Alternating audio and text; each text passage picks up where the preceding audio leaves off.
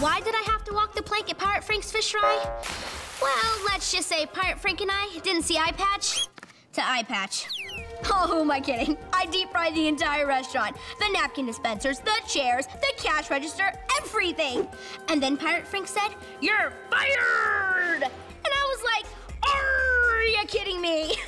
he wasn't. Time for another job. I'm qualified, sweet.